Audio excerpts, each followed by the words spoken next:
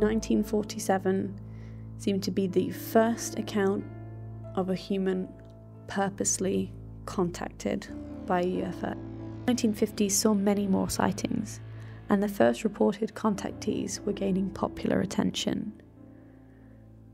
They were universally telling tales of alien technology far outstripping our own. They were at the very edge of contemporary understanding. They brought messages of humanity's place in the universe, the comparative peace and advancement of the alien civilizations that they contacted, and the possibility of humanity's transformation to take ranks amongst other intelligent life in the universe. There were legends that stemmed from this. Raelism and the Aetherius Society boasted contactees with benevolent contacts from advanced civilizations, here to help us in the process of transforming our civilization into one of peace and prosperity. Something that clearly was not a reality for many. We will touch on this later with the death of the American dream and the stifling rigidity of pop culture and the media with the parody religion, the Church of Subgenius. But for now, we will tackle classic UFO religions. Broadly, these can be referred to as millennial ufology. Put simply, a belief in collective salvation through massive change, whether progressive or catastrophic. Incubated in the anxiety of a Cold War culture, these religions were built around the fact that at any point a weapon could fall from the sky and destroy everything you know, erode your body with an invisible power that you do not understand. For the first time in history, this could happen without warning, without physical portent, but many supposed extraterrestrial contacts promise to help us slow or prevent this damage. Coming out of an age of genuine fear, this fear of potential nuclear war could be reimagined in UFO mythology with a face, a literal reincarnation of a face we know, a god, an awesome power, but a known awesome power. In this way, we could reframe this fear reframe the conflict with a clear good and bad, and we can pin our hopes in the eventual triumph of the good. An example of this kind of religion we will talk about is the Aetherius Society. The Aetherius Society was, and still is, a new religious movement founded in the mid 1950s by Dr. George King. King himself was positioned as the primary terrestrial mental channel of said religion. He was a de facto spiritual leader, and the religion was named after the being King claimed to have telepathically contacted and then channeled. A cosmic master from Venus, following the lineage of Buddha and Jesus, Aetherian beliefs draw in all religions as in stemming from the same source. Any famous religious figure reincarnated being from our solar system. King's aim was to communicate with the higher order beings which had made contact with him and further their conversations. He did this through yogic meditation, and he aimed to cooperate with his cosmic masters to help humanity solve the current earthly problems and to advance to a new age. Said cosmic masters are described as spiritual beings on another plane than ours. By design, they are non corporeal. It's interesting that um, by the 1950s, it was by now common knowledge that just how unlikely it would be for physical, intelligent life to exist in our solar system. But these beings were non corporeal. And they existed at a higher vibratory rate to ours, a rate that could be voluntarily lowered as to appear visible. So, the idea of an alterable vibratory rate ties in with the ideas of the fourth dimension. Now, the fourth dimension is a term coined by Johann Carl Friedrich Zollner, apologies for the pronunciation, and is a dimension that supposedly exists alongside our own, in which all kinds of paranormal entities may exist and temporarily press upon our own dimension. Zollner was a German astrophysicist, and he was also one of the earliest psychical investigators. It is not suggesting too much to suggest that some of the proponents of early UFO religions may have had knowledge of Zollner's writings. Many of them had existing backgrounds in mysticism, psychic readings, and such. So, this idea of a fourth dimension did not spring up independently of Zollner's work. I think it's safe to say this idea was around. And for some people, provided a really useful way of justifying what they may have seen as unexplainable phenomena. Could all be explained by a fourth dimension with the ability to influence our own. This allies, of course, with popular UFO sightings of the time. The implausible speed they often seem to show, their appearances and disappearances, lack of corporeal evidence. It may also explain the difficulties of capturing the beings on camera if frame rate would be taken into consideration. It is clear that this religion, in many ways, was directly reactive to the discourse around ufology. Most UFO sightings of the time had little or no accompanying audio, for example. People who have visited occasionally described a sound, a buzzing in the ear, or a hum, or just a feeling more than actual sounds emanating from the beings. And most of the stories were oral accounts, retold in print, with few, if any, accompanying visuals and no way of including any sound. This would make sense. So it would make sense that beings would exist outside of a vibratory range our ears could ordinarily pick up or distinguish as more than just a feeling, a vague feeling, instantly recognizable and easily described to others. King's statements also weave themselves neatly around another facet of contemporary sightings the tendency in descriptions of beams of light to appear to bend in midair or be stopped by invisible crafts or walls or something imperceptible to humans. He says, At times, the operators of scout vessels and motherships choose to rotate the streams of photons around their crafts in a 360 degree arc, thereby rendering themselves invisible to the ordinary eye. There's an interesting tension here in the 1950s and 60s that meant people had a belief that light could soon be bent in midair. Nuclear radiation at the time was similarly understood to have powerful properties, but their full effects were unknown. So, could it be possible invisible radiation had power over light and could cause it to bend in midair or even stop? If it could reduce a city to rubble, why wouldn't it be able to? Even though this is something that exists on the very fringe of our understanding now, how recent is it in the collective mind, a knowledge of things such as radio waves, radiation in general, the behavior of light as a wave through the air. These are new concepts. And different ways that these could interact with each other is, is an idea that exists on the very fringes of our understanding. Just as higher evolved life forms may inhabit non corporeal forms, Aetherianism also sets the earth itself as a highly evolved living entity. Their belief sprang up against the very real fear of the Earth's destruction, on a burgeoning knowledge that the Earth was being negatively impacted by human means. It cites the environmental and societal problems of Earth as a symptom of a larger spiritual energy crisis, a symptom masquerading as a cause. Funnily enough, it is the Aetherian position that it is the lonely karmic position of mankind that explains why extraterrestrials don't openly land on Earth.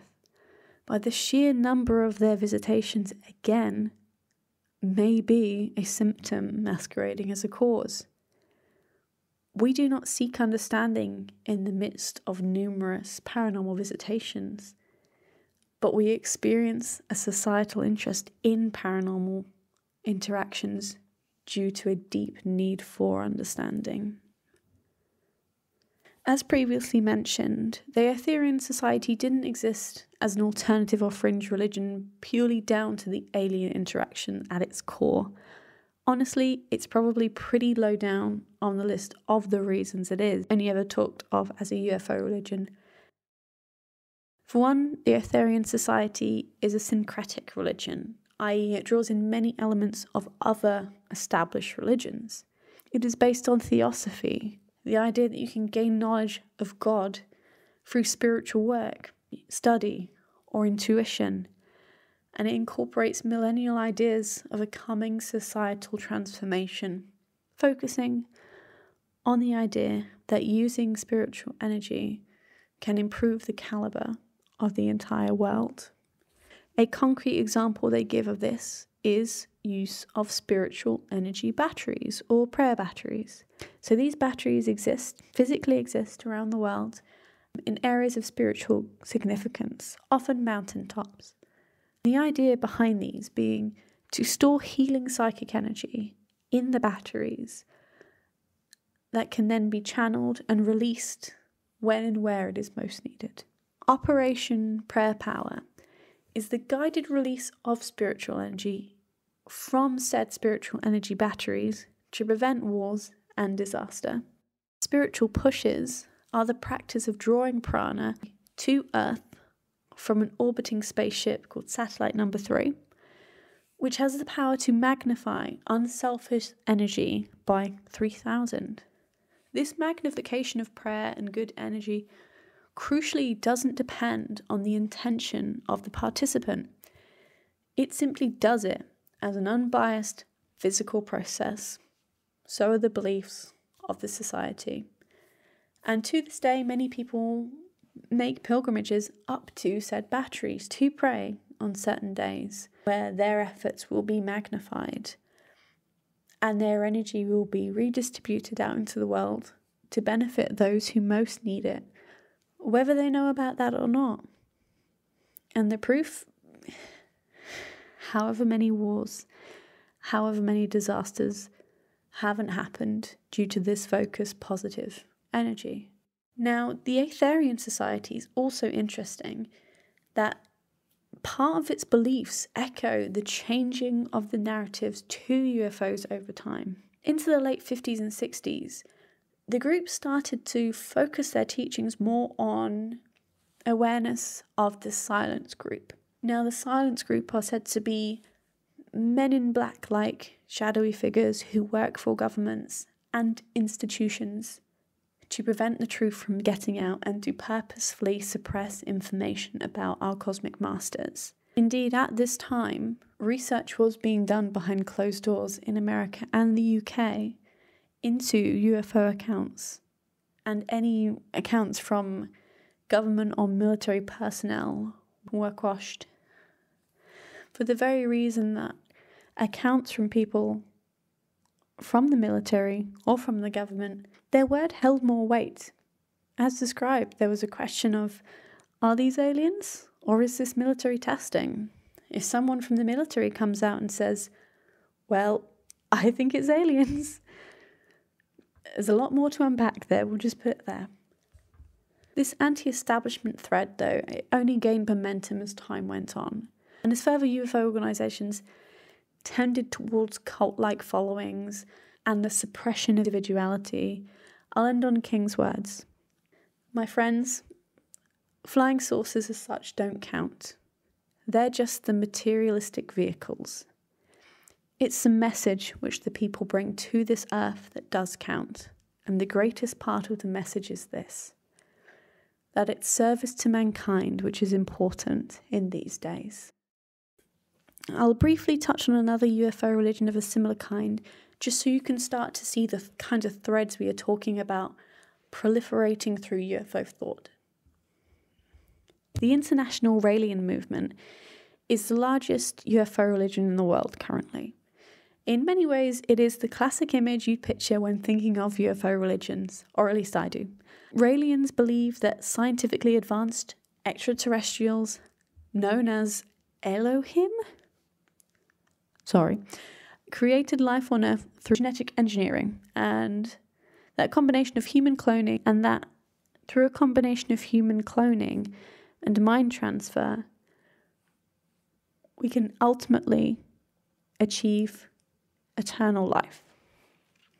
Past religious teachers such as Jesus, Buddha again, and Muhammad are said to have been sent by these scientifically advanced extraterrestrials to teach humanity. The Elohim are said to be planning a future visit to complete their revelation and education of humanity. Now, as we know, they're not the first or the last to count important religious figures as part of their puzzle, but they seem to be a kind of average for all the religions and cults I've read about and will be talking about so far. They're kind of the classic Coke of UFO religions, and I'm skimming over a lot of information here, but I thought it was worth pointing out just how similar some of these can be, with differing beliefs at the core, but the same sentiment and the same kinds of questions and the same kinds of answers. Raelian priest Thomas said on this topic The difference between Raelians and Heaven's Gate and Jim Jones, etc., is that the others destructively believe in a God who would give them a better life after death. Just like most believers in monotheistic religions do today, and hence the risk of suicide chasing afterlife rewards. Raelians believe in enjoying life now with happiness and laughter. Raelian beliefs rather directly address the mental need that they serve and what exactly they offered that current ideologies didn't or couldn't. But as previously mentioned, they were far from the first to acknowledge the psychological aspects of how we deal with extraterrestrial encounters. Orfeo Angelucci is an early contactee, notable in that to many he is viewed, even by skeptics, as more of a religious visionary in a flying saucer context rather than a cynical exploiter of the credulous. His initial contact was in 1952 in Burbank, California, where driving home from work at an aircraft factory, he saw a saucer emerge, emitting small glows from within it. In front of his eyes emerged a crystal cup full of delicious healing liquid, and a voice telling him not to fear. His claims run on and follow the expected pattern, but interestingly, they caught the attention of Carl Jung, who observed in them the individuation process, i.e., the process where the individual self develops out of an undifferentiated unconscious. The central problem of modern psychology is plainly depicted in an unconscious symbolic form, although the author, with his somewhat primitive mentality, has taken it quite literally as a concrete happening. Even very early on, it was noted the psychological benefits of the UFO religion, or more broadly, UFO faith, as an outlet and an abstract form through which the fundamental struggles of humanity can be worked through. George Van Tassel, a hugely influential contactee brought Ashtar to public attention in 1952. Ashtar communicated with Van Tassel telepathically and directly addressed the fear that the then in development hydrogen bomb had the power to set off a chain reaction which would destroy the planet. Ashtar warned that if the scientists didn't stop the project immediately, we, meaning his people, shall eliminate all projects connected with such. In all communication, he maintained a stilted grammar and long run on sentences with almost stream of consciousness chained clauses. One must be aware, he warned, of the distinction between the ships of light and the ships of abduction. But the 1950s also saw a concurrent souring of the narrative towards our alien visitors. Whether the aliens of these narratives were the face of good or evil begins to change at this point. To almost unanimously good, ancient reincarnated souls with friendly faces, to the famous greyskins, broadly humanoid either symbolizing our salvation or our damnation. Just how quickly the atmosphere around UFOs were changing is emblematized by the changing fortunes of George Adamski. Born in 1891 and largely forgotten today, George Adamski was at the time probably the most famous flying saucer contactee. Set the blueprint for the UFO encounter and his alleged meeting with a Venusian in the Californian desert in November 1952 poured fuel on the smouldering saucer fire. His encounters were apparently numerous, involving Venusians, Martians, and Saturnians, painting our solar system as bristling with intelligent life on the verge of contacting us, an Earth ready to take its place in the universe. In 1962, he was said to have flown by spacecraft to attend an interplanetary conference, presumably a spokesperson for Earth. By his death in 1965, even many of his most devoted followers were convinced that either he was misleading them or he was being tricked by malevolent aliens or even malevolent government agencies. Polish born, Adamski emigrated with his parents to upstate New York when he was still an infant. He began his assimilation into the local occult scene as head of the Royal Order of Tibet, a metaphysical school based on the channeled teachings of Tibetan lamas. With the popularization of the UFOs in the 40s, Adamski was one of the first to produce photographs of the crafts with the publication of the images in Paranormal Digest Fate in the early 50s earned him a kind of paranormal celebrity and an audience keen for more. And he did not disappoint. In 1952, as six witnesses looked on, containing among them other noted contactees, Adamski observed the landing of a saucer and the emergence of a visiting Venusian, blonde haired and beautiful Orthon. Three weeks later, Orthon returned and allowed his scout vessel to be photographed. The resulting image for many defined the visual of the flying saucer domed disc with three ball landing gear. An image which was to be supplanted in many Western circles, but remains to this day de facto UFO in areas of Asia. Adamski's accounts were published in Desmond Leslie's massively influential flying saucers have landed.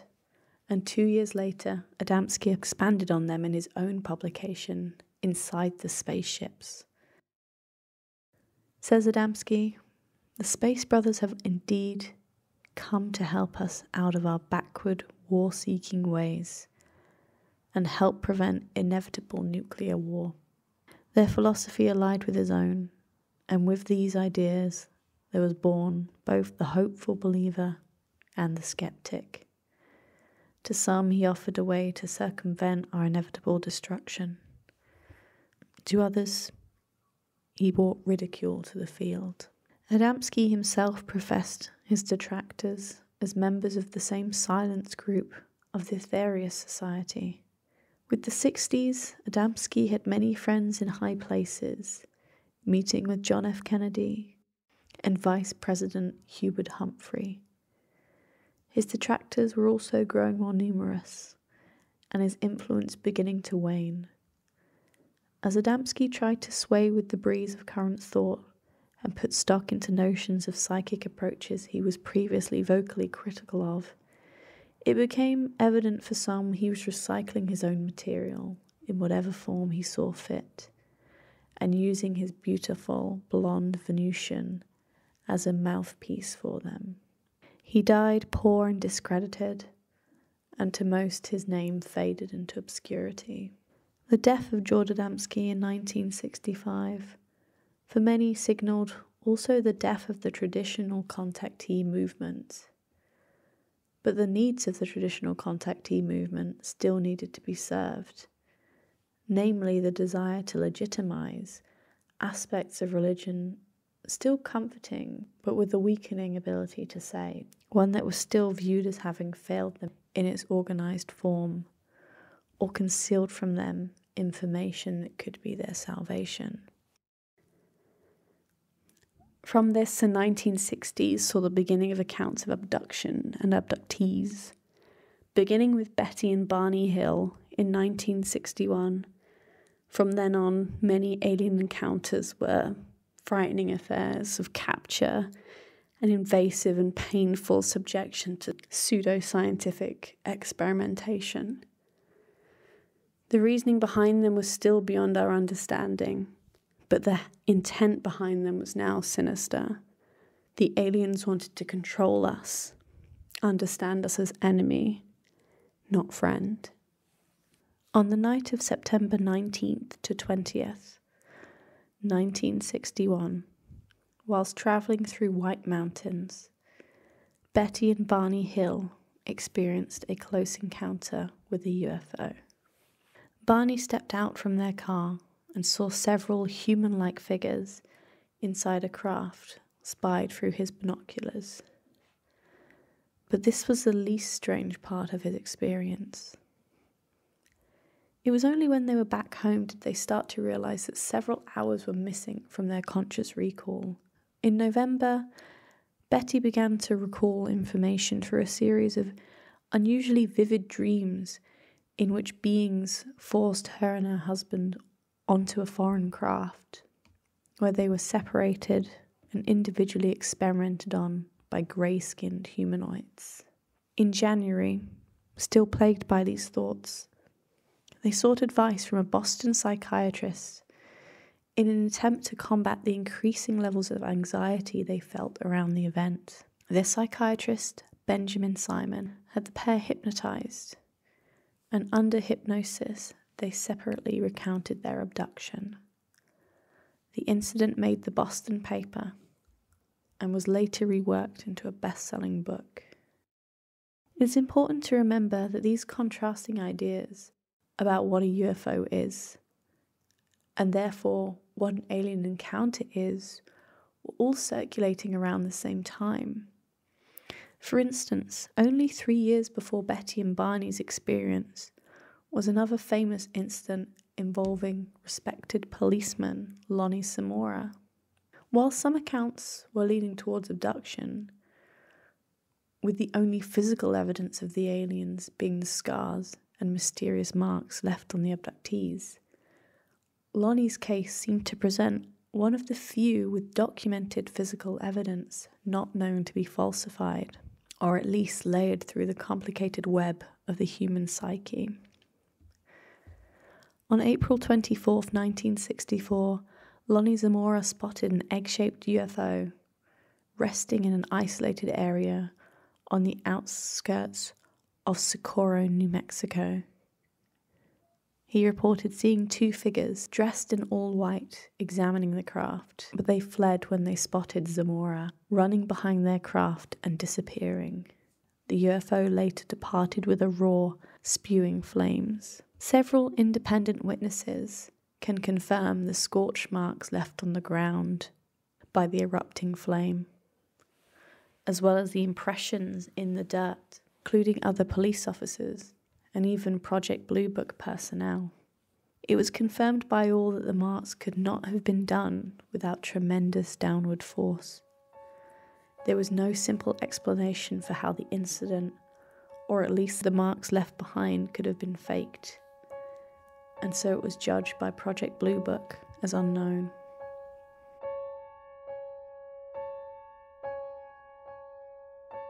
That was part two of the history of the UFO religion.